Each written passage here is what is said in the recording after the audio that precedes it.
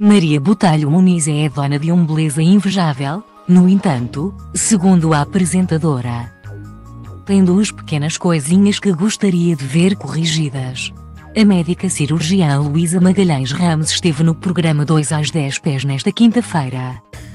27 de outubro, a esclarecer algumas questões relacionadas com cirurgias estéticas e os comunicadores revelaram o que gostariam de fazer. Maria Botelho Muniz gostaria de ver corrigidas uma pálpebra descaída no olho esquerdo e o chamado duplo queixo, papada. Este olho que está a descair e este papinho. Não dá para mexugar este papinho? É que isto não sai nem por nada. Uma pessoa engorda, emagrece e está aqui sempre a viver, contou.